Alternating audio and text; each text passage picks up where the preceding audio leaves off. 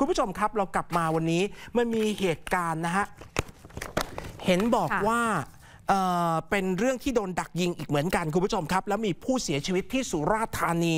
โดยทางเจ้าหน้าที่ตำรวจเองเนี่ยได้รับแจ้งมานะครับ ว่ามีผู้ชายคนหนึ่งชื่อว่าพี่สุเวทอายุ 50 ปี เห็นบอกว่าแกกำลังจะกลับเข้าบ้านค่ะแล้วแกถูกคนร้ายครับคุณผู้ชมฮะยังไม่ทราบจำนวนดักยิงตายลองดูในจุดเกิดเหตุหน่อยนะฮะเมื่อช่วงเย็นที่เพิ่งผ่านมาเลย ประมาณสักเกือบทุ่มหนึ่งเนี่ยแหละครับเอ่อ จุดเกิดเหตุอยู่ในพื้นที่สพพุนพินนะฮะจังหวัดสุราษฎร์ธานี ตรงบริเวณถนนที่เขาเรียกว่าซอยดีหมีตำบลหัวเตยอำเภอพุนพินครับคุณผู้ชมฮะหลังจากเกิดเรื่องทางเจ้าหน้าที่ตำรวจเนี่ยนะครับเดินทางไปตรวจสอบโดยพันตำรวจเอกปิยพงษ์บุญแก้ว ผู้กำกับสพพุนพิน แล้วก็กองพิสูจน์หลักฐาน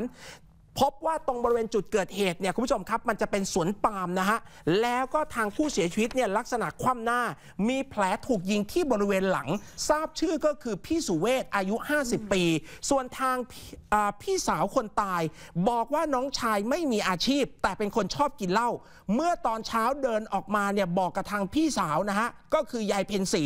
บอกว่าจะไปเก็บค่าคุ้มครองอ้าวเหรอ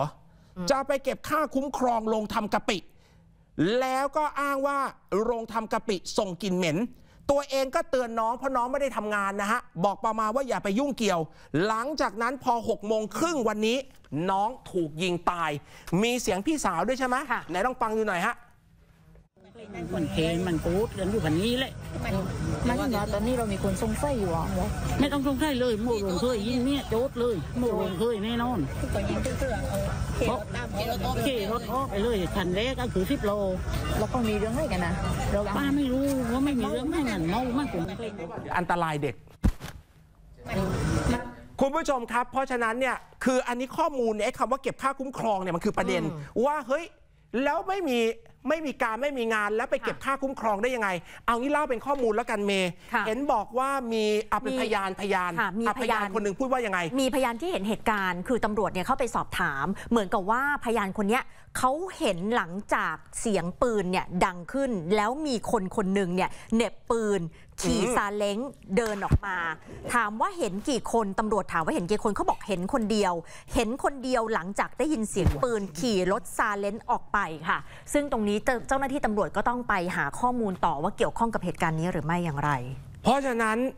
วันนี้ทางฝั่งของพี่สาวใช่ไหมก็เลยบอกว่ามันมีเรื่องเก็บค่าคุ้มครอง ส่วนใช่ค่ะพยานก็บอกว่ามีคนถือปืน ซึ่งขออนุญาตไม่ต้องเปิดพยานนะฮะห้ามเปิดเด็ดขาดนะฮะเดี๋ยวให้เขาไปคุยกับตำรวจเอา เพราะว่าล่าสุดพยานคนนี้เอาจริงน่าจะเป็นคนที่ให้คำตอบในคดีนี้ได้ดีที่สุดนะฮะว่าคนที่ถือปืนคือใครคุณผู้ชมฮะเพราะฉะนั้นนี่เป็นเหตุการณ์ที่เพิ่ง ค่ะ ทางเจ้าหน้าที่ตำรวจเองเนี่ยก็เพิ่งได้รับแจ้งใช่ค่ะเมื่อตอนหัวค่ำที่เพิ่งผ่านมาเลยเนี่ยนะฮะอะจบเรื่องนี้